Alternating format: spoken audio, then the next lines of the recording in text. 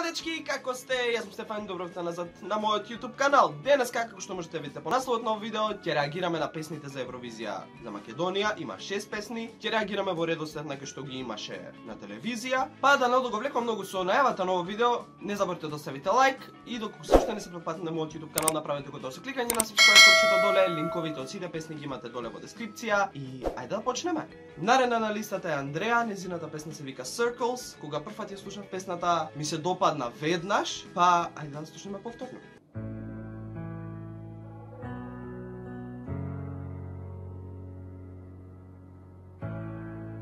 I just want a healthy conversation. Get it right and fix this situation. Everything is crumbling down beneath us.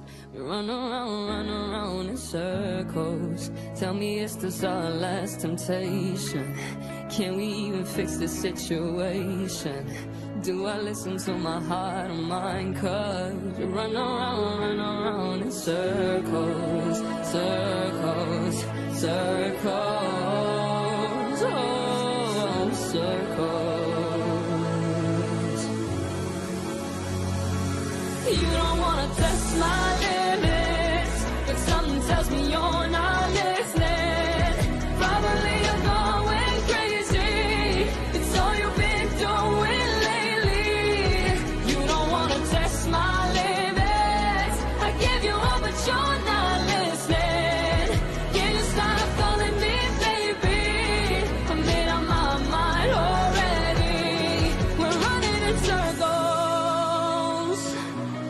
Супер рефрен. Не знам зошто, но некако највеќе relatable ми е оваа песна.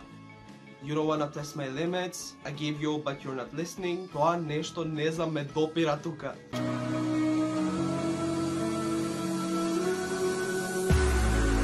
I just want a healthy conversation. Get it right and fix the situation. Everything is crumbling down beneath us. We run around, run around in circles.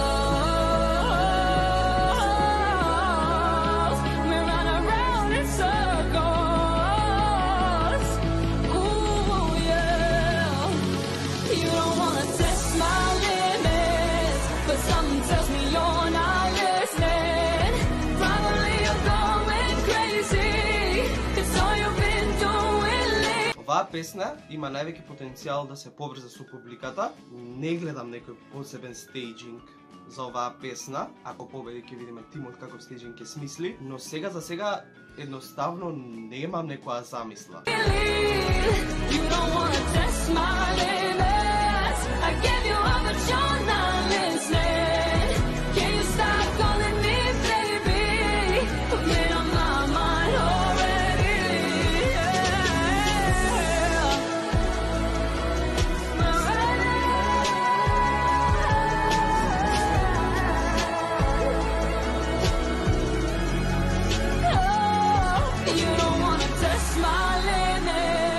But something tells me you're not